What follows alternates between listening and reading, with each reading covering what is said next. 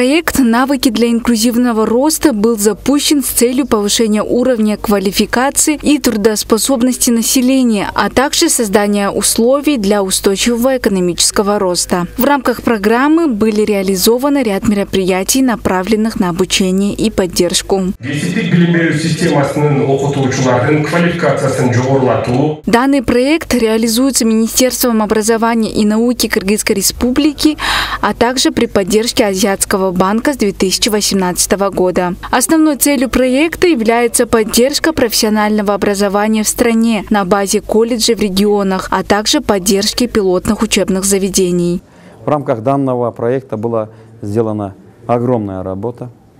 Э, общая стоимость проекта была 30 миллионов, из них 12 миллионов бюджетная поддержка государства, 18 миллионов мы направили на оснащение наших колледжей и лицеев, на их ремонт и оснащение на, на самыми необходимыми, на самым необходимым оборудованием. Э, второй момент – это э, на повышение квалификации наших мастеров и преподавателей.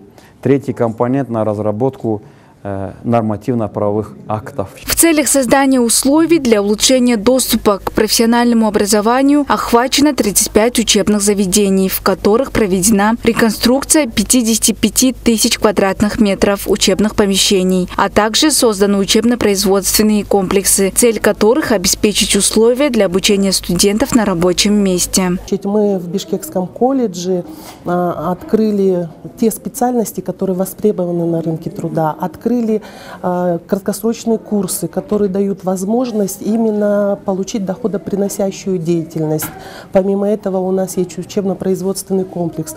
То есть проект нам помог э, полностью материальную базу поднять, полностью улучшить программы Э, которые на компетентностной основе и ориентированы на рынок труда и на компетенции, которые необходимы сейчас рынку труда, то есть современным нашим работодателям. Следует отметить, пилотным учебным заведением закуплено 2514 единиц компьютерного оборудования на сумму 144 миллиона сомов, 6569 единиц мебели на сумму свыше 87 миллионов сомов и 1789 единиц учебного и производственного оборудования на сумму 273 миллиона сомов. Айкен Муратбекова, Даниар Телебалдиев, УТРК Чуй.